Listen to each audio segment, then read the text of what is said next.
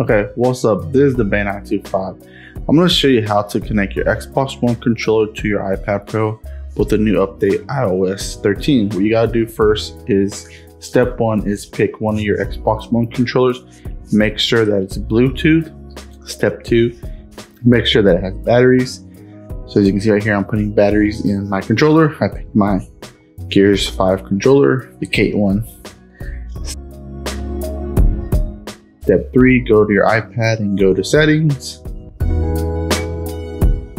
And then go to Bluetooth on your iPad in settings. And then it should look like this. And then on your controller, click the little button right here so you can sync it to your iPad. Make sure you turn on your Xbox One controller first though. And if it's synced with another console, you just have to keep pressing that until it shows up on your iPad. It will keep flashing until it turns up on your iPad and it's right there. And then click that on your iPad and it should connect to your iPad. Once it's connected, you'll be able to play any game that works with the Xbox One controller that is Bluetooth. If you guys like this video, please like and subscribe. I'll keep making more. All right, later. Peace out.